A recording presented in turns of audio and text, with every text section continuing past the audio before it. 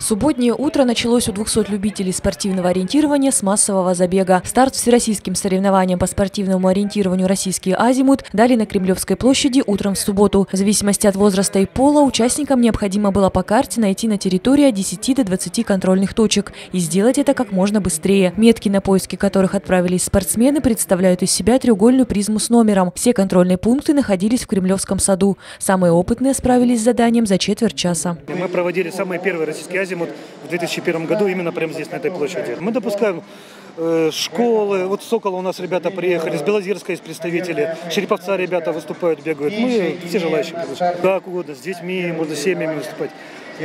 Чтобы понравилось. У Юрия Шишлина уже большой опыт в таких забегах. Спортивным ориентированием он занимается со школы и всегда участвует в соревнованиях. К спорту привлекает и детей. Сегодня в забеге участвует сын Юрия, а дочь хоть и не бежит вместе с отцом, но имеет звание кандидата в мастера спорта. Сейчас, вот, э, особенно когда э, исполнилось полтинник, Сейчас участвую во всех соревнованиях, какие только проводятся и в городе, и в области. Считаю, это самый э, полезный вид спорта для поддержания здоровья. Чтобы грамотно пройти дистанцию, конечно, нужен опыт и тренировки.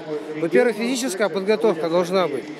Э, ну и техника ориентирования. Это тут не так просто, но это если заниматься, все приходит. Участница Вера Бачевская не такая опытная, но увлеченная. 13-летняя волокжанка на старт вышла с подругой. Все контрольные точки нашла и во время уложилась. Помогли тренировки. Мы просто занимаемся спортивным туризмом. И чтобы лучше улучшить свои навыки, решили сходить на ориентирование. Попробовать свои силы ребята пришли целыми классами. Девятиклассники школы 28 уже не первый год принимают участие участие в подобных соревнованиях, а тренируются на стадионе у своего образовательного учреждения. Уже четвертый год бегаем. Обычно в десятку мы входим, потому что как бы нас много человек бегает. У нас по стадиону тоже расставлены контрольные пункты, и мы бегаем. Только у нас на по порядку, а тут в разнобой. Те, кто нашел эти пункты быстрее всех, получили кубки, медали и грамоты Минспорта. Всего определили 18 лучших по 9 мужских и женских группах. Всем участникам вручили на память сувениры. Всероссийские массовые соревнования по спортивному ориентированию «Российский азимут» прошли в 73 городах страны. По сообщению организаторов, с картами вышли около 210 тысяч спортсменов.